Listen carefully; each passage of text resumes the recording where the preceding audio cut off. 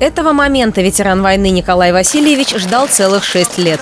Он с гордостью показывает свою однушку, обладателем ключей от которой стал сегодня, и вспоминает, как оказался обманутым дольщиком. Решили мы с женой отдать детям трехкомнатную свою большую квартиру, а нам переселиться сюда. Вот именно в эту комнату, это 394. Вот. Но меня уговаривали в Москве купить. Но я подумал, э, нашлись друзья хорошие, всякие же бывают. Ну и вот э, сагитировали меня, говорят, вот дом уже на, на, почти что на сдаче. Николай Васильевич купил, о чем потом сильно пожалел. Застройщики много лет лишь кормили обещаниями. Работа не двигалась. Даже появились случаи мошенничества, двойные продажи квартир. Недобросовестные застройщики, к сожалению, собрав деньги с граждан, не выполнили свои обязательства. Э, и мы были вынуждены искать нового застройщика, который вот э, сегодня э, передал два корпуса, которые он достроил, группа компании «Пик».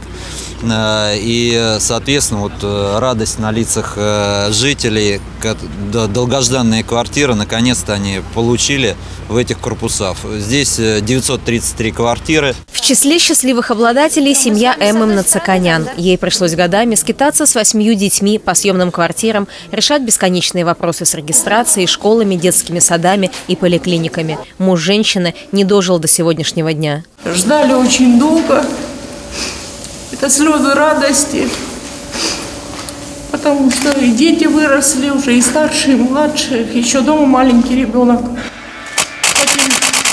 Ну, от себя, как от матери хочу сказать большое спасибо нашему губернатору за то, что все-таки долго ждали, но достроили наши дома, и сегодня у нас радостный день. Спасибо нашему главе Одинцовского района Конечно, и он большую помощь нам оказал. Строительство жилого комплекса «Западные ворота столицы» постоянно останавливалось по вине предыдущих застройщиков. Сначала корпорации «Союз Возрождения», а затем ЭСК «НБМ». Год назад по поручению губернатора области нашли нового инвестора – компанию «ПИК», и дело сдвинулось с мертвой точки. Мы констатируем, что э, действительно строительство завершено, есть какие-то маленькие недочеты, но в процессе этого месяца застройщик э, доведет все до логического завершения.